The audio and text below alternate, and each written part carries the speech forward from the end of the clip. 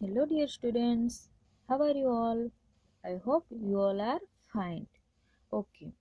In the last video we have completed to chapter 9 and i hope you have completed the work of notebook and textbook right? Okay.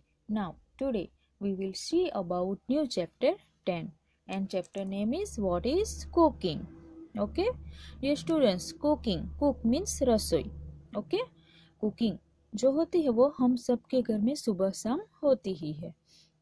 So look at the pictures colours the species which have dot in them what do you see dear children यहाँ पे आपको एक pictures दिया है, जिसमें छोटे छोटे dots भी दिए गए हैं। तो जो, जहाँ पे जिस स्पेस पे डॉट दिया है, उस स्पेस पे आपको कलर्स फिलअप करना है। Okay?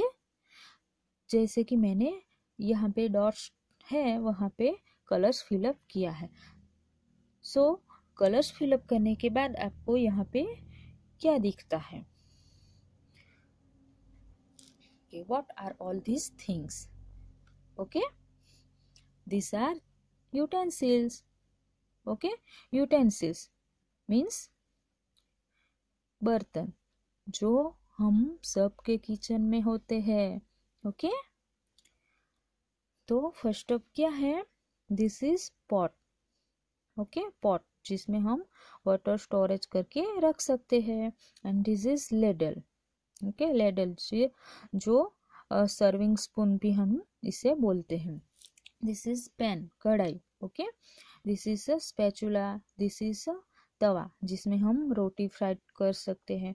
This is a fry pan this is pressure cooker and another spatula दिया है। ओके तो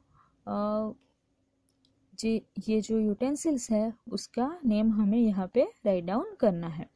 तो फ़र्स्ट अप क्या है? Kadhai.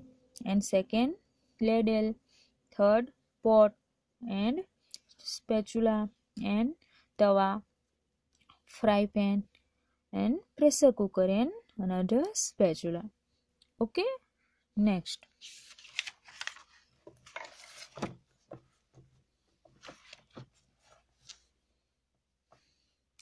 in the picture you must have found some utensils that are used for cooking are there any other utensils used in your house for cooking which are they dear students यहाँ पे हमने कुछ utensils देखे जो हम सबके kitchen में available होते ही है। सो so, इसके अलावा हमारी किचन में एनी अदर यूटेंसिल यूज़ करते हैं हम। तो वो कौन से हैं?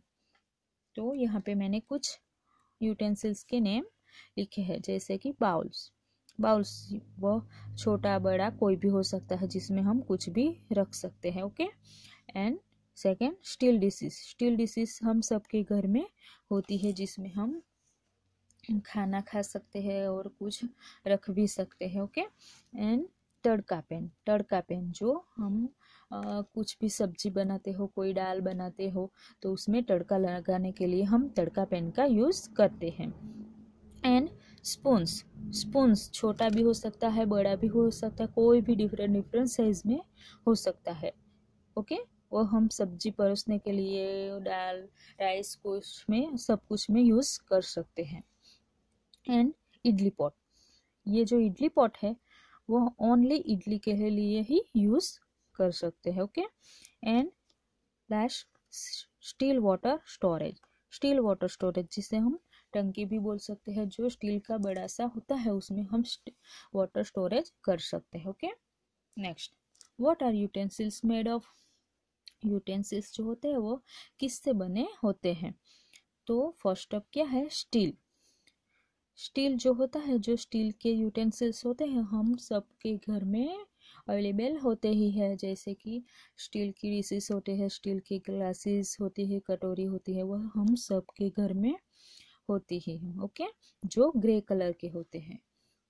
नेक्स्ट कोपर ये जो कोपर होता है तो ये कॉपर इसे क्या बोलते हैं? तांबा भी बोलते हैं, जो लाइट रेड कलर का होता है ओके जो हमारे घर में, जो कॉपर की प्लेट हो या फिर कोई भी ग्लासेस हो तो उसमें हम वाटर पीते हैं तो हमारी सेहत के लिए हेल्पफुल होता है ओके एंड नेक्स्ट आर्यन जो आर्यन है उसे क्या बोलते हैं? लोहा बोलते हैं जो आ, हमारे किचन में हम देखते हैं तो जो ब्लैक कलर का होता है जो कोई भी यूटेंसिल्स हो ब्लैक कलर का हो उसे आर्यन का बना हुआ बोलते हैं okay?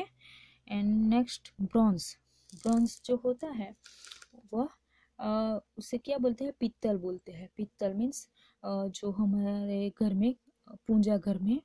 इसकी जो चीज़ें होती हैं पूंजा घर में हम यूज़ करते हैं। जो पीले कलर के, जो हम भगवान को दिया चलाते हैं, वो ऐसी चीज़ें जो होती है, जो ब्रॉन्ज की बनी हुई होती है ओके एंड ग्लास जो कांच की चीज़ें बनी हो।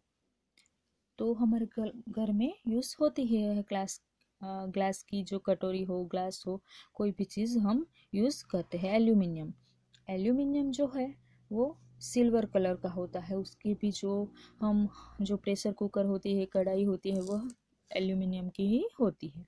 Okay? Next ask some elderly people what kind of utensils were used earlier? What were they made of? Dear students, यहाँ पे आपको अपने जो एल्डर जो बड़े हो घर के, उसको पूछना है कि उसके समय में, उसके टाइम पे वह कौन से यूटेंसिल्स यूज़ करते थे, कैसे बने हुए, उसके बारे में आपको जानकारी लेनी है।